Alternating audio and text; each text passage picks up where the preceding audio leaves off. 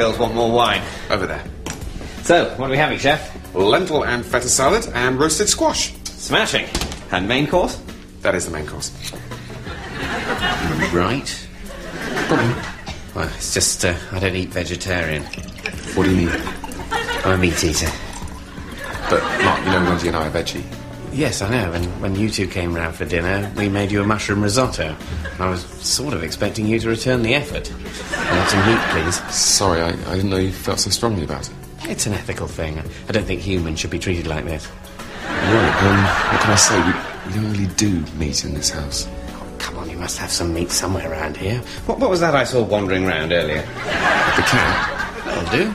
I'll have that with some rice. No, no, that's the cat. Look quite lean and gamey. But it's ours. It's a pet. You mean you keep an animal in captivity for no reason? That's barbaric. At least pigs are for sausages. Ah, no, you see, they're not. They're actually highly intelligent creatures. Oh, yeah, right. They're doing secretarial work on the farm. Come on. They're sausage fodder. Why else would anyone keep pigs? Well, to. to. because. Pig cheese, pig wool. Well, Pigs are expensive, pink, and annoying, but they're also delicious, which is why we breed so many of them. There might be a few polar bears left if more people wanted one for breakfast. what?